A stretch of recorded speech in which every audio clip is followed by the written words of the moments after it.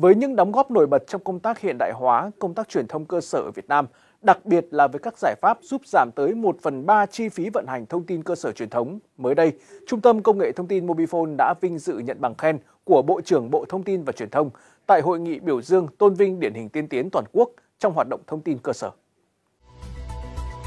Hai giải pháp Make in Việt Nam do Trung tâm Công nghệ Thông tin Mobifone nghiên cứu phát triển gồm giải pháp truyền thanh thông minh và hệ thống thông tin nguồn.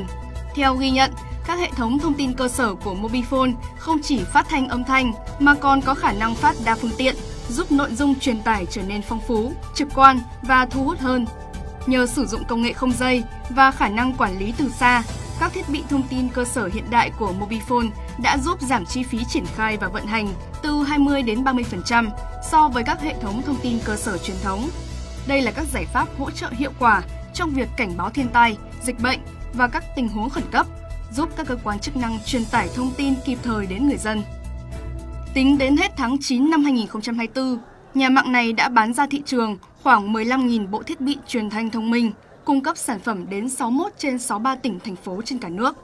thực hiện triển khai hệ thống thông tin nguồn cấp tỉnh tại 8 trên 18 tỉnh, thành phố, với tổng doanh thu ước đạt gần 8 tỷ đồng.